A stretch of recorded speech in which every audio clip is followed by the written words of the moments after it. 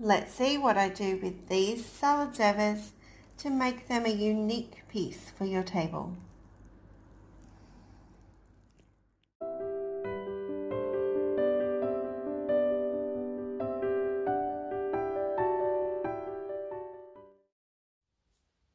Hi everyone. So let's first go through how I've taped this up. These ones are on an angle.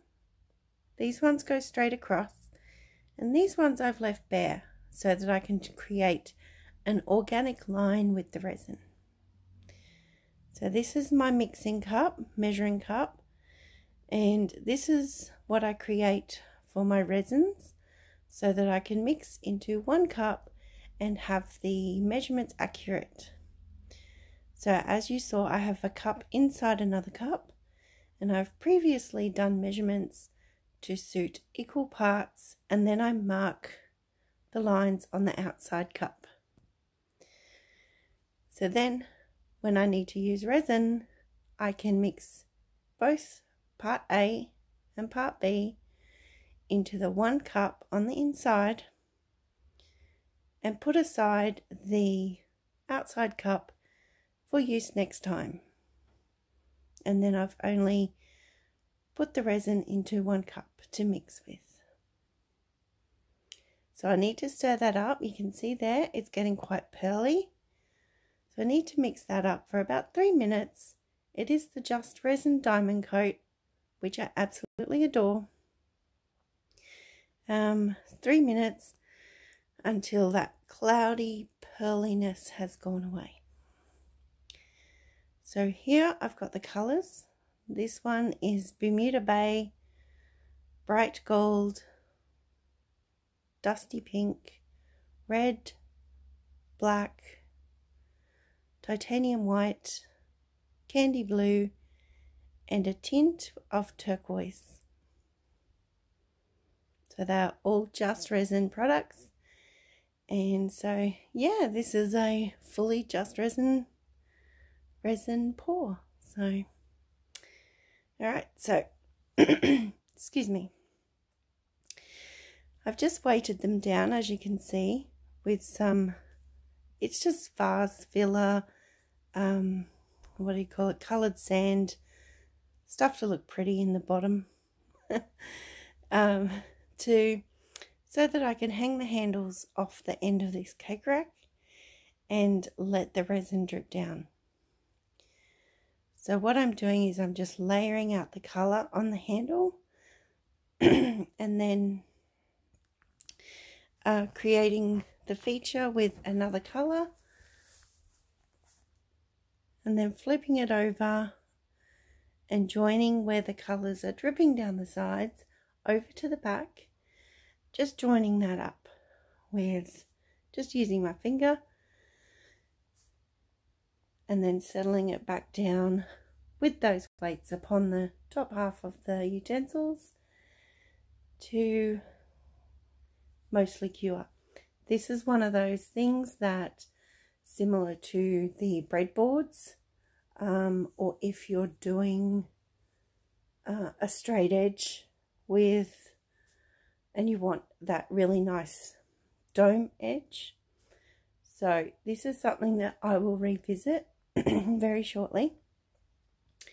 So in about three hours, I'll come back and remove that tape so that it gives a really nice edge to where the resin ends.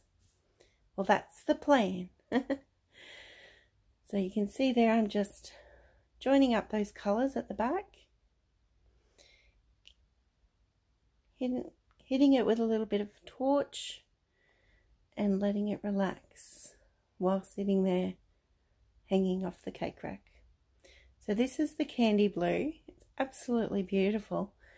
And this is where I wanted to add that turquoise in. I was going for a bit like oceany type handle if I was that's that was what I was aiming for. So some little white streaks and blown around with the heat gun so that it creates a little bit of softness, a little bit of potential wave movement in there. I actually thought the white had like blended a little too much so I hit it with some more so then I added a little bit of that white decorative sand to a little bit of white resin and just added it in at that bottom section so that's the organic finish to that resin feature on those ones in particular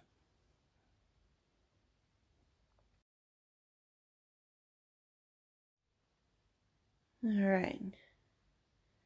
So once again, just joining it up at the back and taking that last bit of resin and sandy bit right round, all the way around the utensils.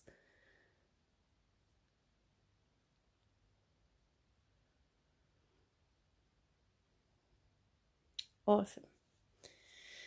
So there we go. We'll just let those rest now for about three hours and see what we come back to.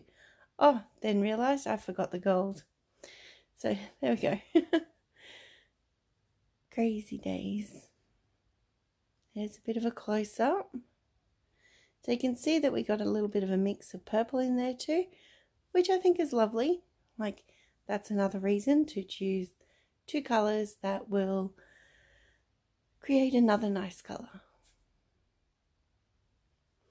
the black and the red, and the ocean type effect.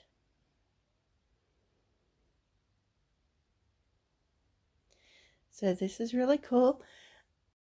I thought of this after doing up some of those breadboards, the chopping boards, um, and I just thought, seeing as we can use resin to create this beautiful feature on on these kitchen boards. How about we do it on some salad service? So that's where it all came from. I was a little bit uncertain as to what to do with the back of the spoon handle or the fork handle, whichever it may be, but I think it worked out pretty well because this was just my first go at how I think I would do these. So I'm pretty happy with the results. I am finding as I peel back this tape, it is just general masking tape, that it has bled a little into the, oh, what's that word? The wood, um, the grain of the wood. Some of those have in certain areas. So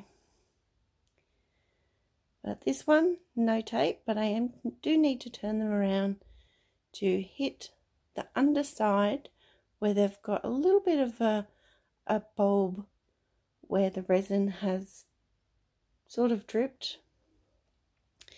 So now just hitting them with the heat gun, um, which is going to soften the resin just enough to let those bulbs relax back in and settle down.